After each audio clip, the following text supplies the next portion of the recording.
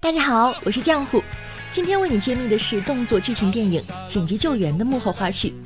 导演林超贤太魔性，活生生将剧组变成了健身班。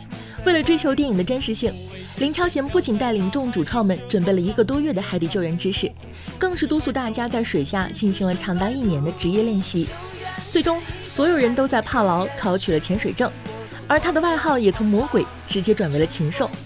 女演员辛芷蕾就曾提到，自己每天都被导演练到濒临崩溃，长达八九个小时的水下训练，使得她收工后衣服全都粘在身上，要靠工作人员帮忙才能脱得下来。但功夫不负有心人，正是因为他们在前期做足准备，达到了职业五级的标准，才在后期拍摄时感觉到很轻松。网上爆料说，这部电影耗资七亿。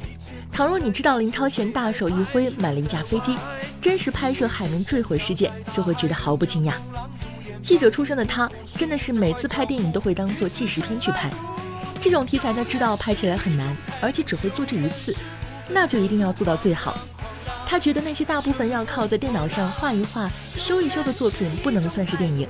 哪怕是搭建原比例对仗还原的场景，肯定也有很多不真实的地方。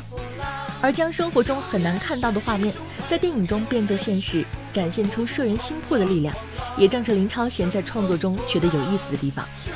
在日常的拍摄中，领导的打扮也是独具风格，很嗨，很带感。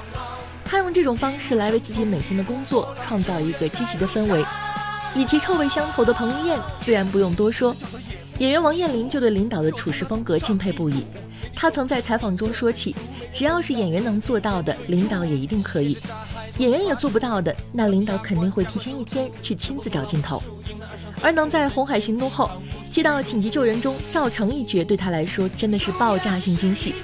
因此，王彦霖在后期搏命拍摄，听力受伤住院的时候也是毫无怨言。还有一次在墨西哥拍摄时，王彦霖一个人潜到能见度很低的海底取镜。中间发生意外，丢失了呼吸管，差点就上不了岸。幸好有工作人员注意到这一险情。等拍摄结束后，回到海面的王彦霖第一时间就湿了眼眶，但也是在第一时间赢得了墨西哥工作人员的掌声。而领导则特别满意演员在水下的真实反应。拍摄结束后，也首次罕见的在水下三千尺深处开香槟进行了庆祝。期待紧急救援的早日上映，更期待我们的生活能早日恢复正常。大家都能够摘下口罩，走上。